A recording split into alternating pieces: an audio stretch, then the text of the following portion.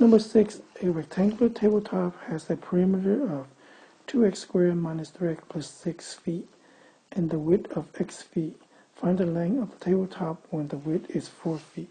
So we know that the perimeter equal to 2 times the length plus 2 times the width. So we have 2x squared minus 3x plus 6 equal to 2 times L plus 2 times x.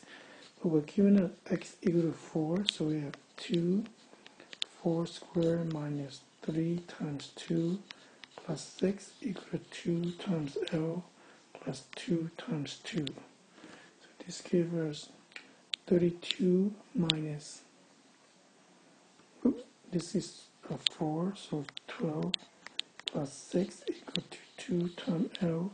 This also should be a 4, plus 8.